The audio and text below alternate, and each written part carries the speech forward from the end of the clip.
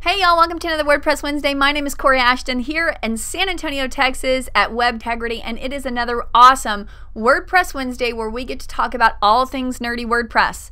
So if you're looking at this video, you're probably trying to figure out how to um, move your blog from being just like your main home page, kind of move it into some other section of your website. Sometimes people want to have maybe a business website and just have the blog be a portion of their website. How do you kind of get it off that and, and maybe have a link somewhere else? Let's show you how to do it. All right, this is an easy, quick tutorial. It's simple, simple. So I'm going to show you just a, a template site that I'm playing with right now and we have the home page set up to be, you know, the, the typical default blog post that comes with WordPress, the Hello World blog post. So if I had more blog articles, they would all appear down this page. And I don't want to do that. I want to have like a welcome page here and move uh, my blog into a blog area on the website. So the first thing you'll want to do is create a page for um, a home page. You'll just add new and you can call it home or you can call it welcome, whatever you like to call it. And you would put all of your content here. Well, if I learned how to spell. All right, and you go ahead and publish that. If we go back and look at the front side of the website though, it's not going to appear right here because we haven't told WordPress yet to basically to stop being a blog full time. We want to tell WordPress to make this kind of be like a business website where we have a standard home page and the blog be a part of the website. So now that we have our welcome page, we can go into settings and go to reading. Here we have an option. It says front page displays. Does it display all of your latest posts from your blog or would you like it to be a static page? You'll select static page. And then from the front page, you can choose your welcome page that you just made. And if you'd like to set a blog page, you can do that as well um, easily. We would have to create a page, call it blog, and set it here. So now we've got the home page set.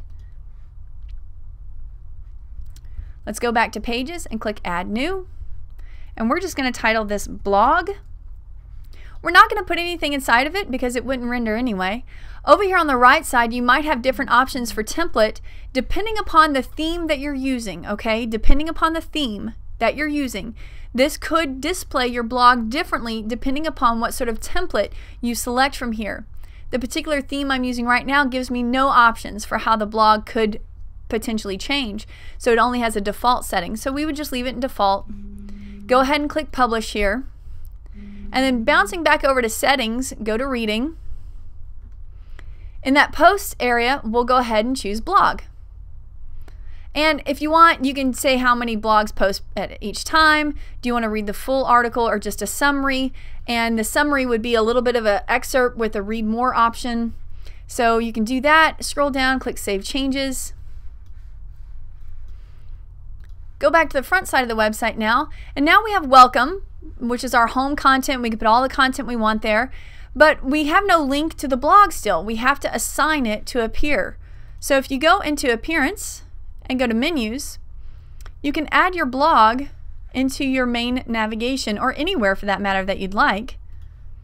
We'll click the ones we want, say welcome, we'll put welcome to the top. Let's go ahead and change that to say home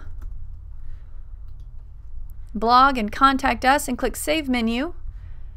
And now if we come back to the website and open it up, we have Home, Blog, Contact Us. If I click Blog, WordPress is so smart, it knows it connected those and it will now list every single blog article that you have running down this page perfectly uh, with your latest at the top. It works perfectly just like that, y'all. This is for total beginner. If you're interested in more videos just like this, check out our channel. Be sure to subscribe right here because every single Wednesday we are releasing a video just like this to help you. And we have almost 200 right now in the library here on our channel. So go check it out. Give us your feedback and let us know if we can help you in any way. Have a great one. Bye, y'all.